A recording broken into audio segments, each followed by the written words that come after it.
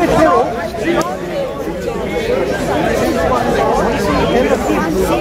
it all?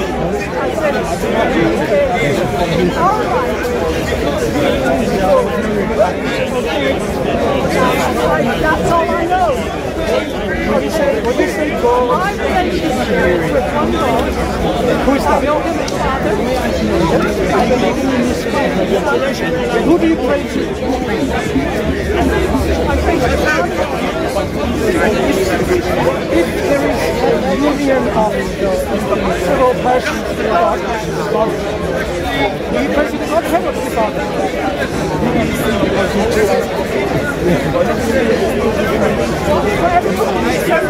According to the scripture,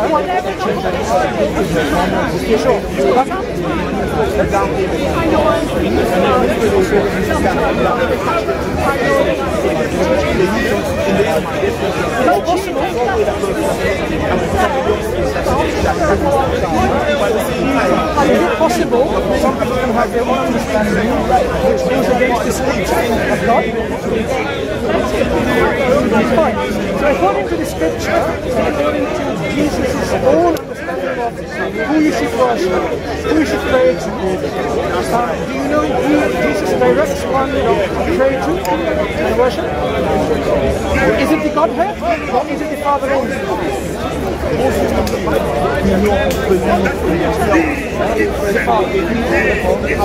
Oh, our Father, who art খাবেন be বিদায় নেই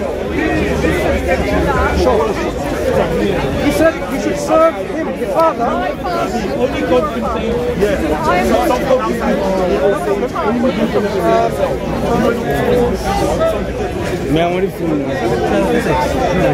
I removed.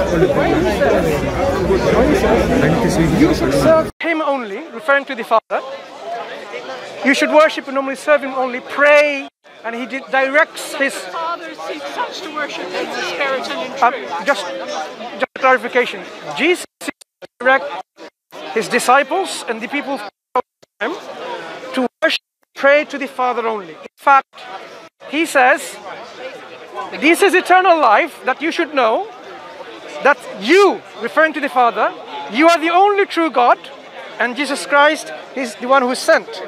So, according to Christ, the only true God is not the Godhead, it's the Father he calls Father, right? He calls someone Father. gospel. No. In John 17 3, John 17 3, I know, I know the verse. he says, But I don't think you've quoted the whole thing. okay, in 17 3, he says, This is eternal life. I'm paraphrasing. That they should know, Not a good idea. Because Okay. the scripture is very specific. we can show it. I mean, I've, I've read this, fine, I've read this many times. Fine, I've read this many times, and it's not the first time I'm having a discussion with a Christian um, individual on this issue.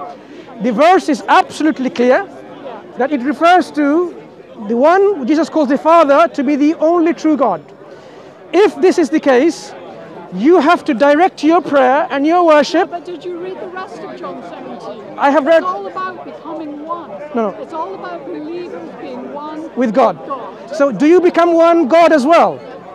When you become one with God, He says, I become a son of God. He said, just as I am the Father one, I pray, Hear my answer. I said I become a son of God. so you become God. I become a son of God. Okay. Becoming son of God, does it make you God? Definition in scripture. No, I didn't claim to be God. Right, but he said, I am the Father are one. Does that mean one in God divinity? Can I just say, it doesn't matter what you say, the truth of who God is, is the same. It's been the same yesterday, today, it will be forever. But our And- concepts and- differ. And I don't have a problem with any of it. You should take your arguments to God.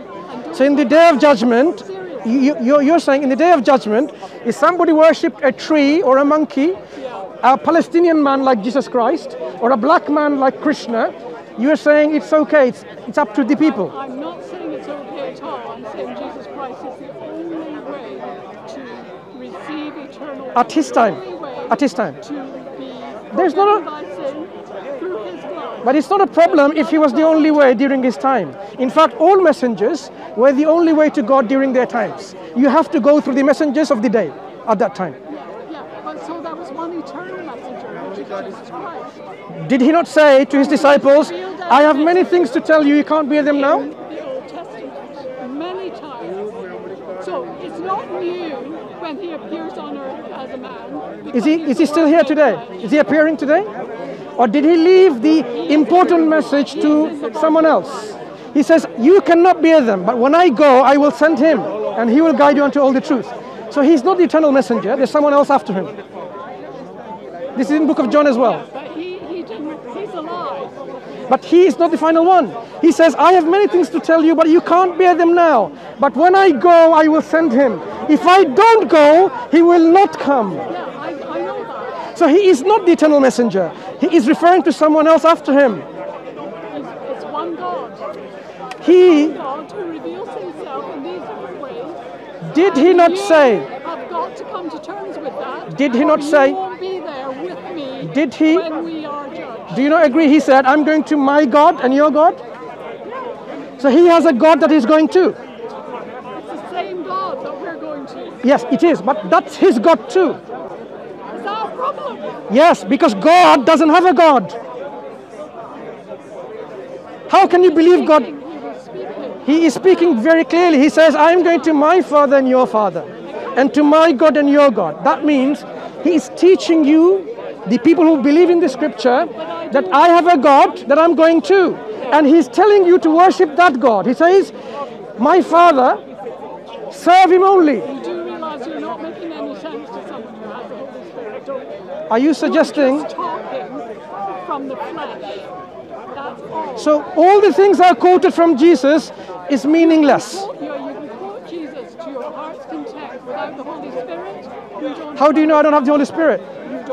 You don't know. How do you know that? Maybe you don't. No, I know I do. No, no, maybe you don't. How do you know? So it's become a question of I know that personal experience, right? I know that I do because of the tr- Right. truth in Scripture. If if you have the Holy Spirit in you, you should be able to I know that you were just do all these miracles. Do you know that?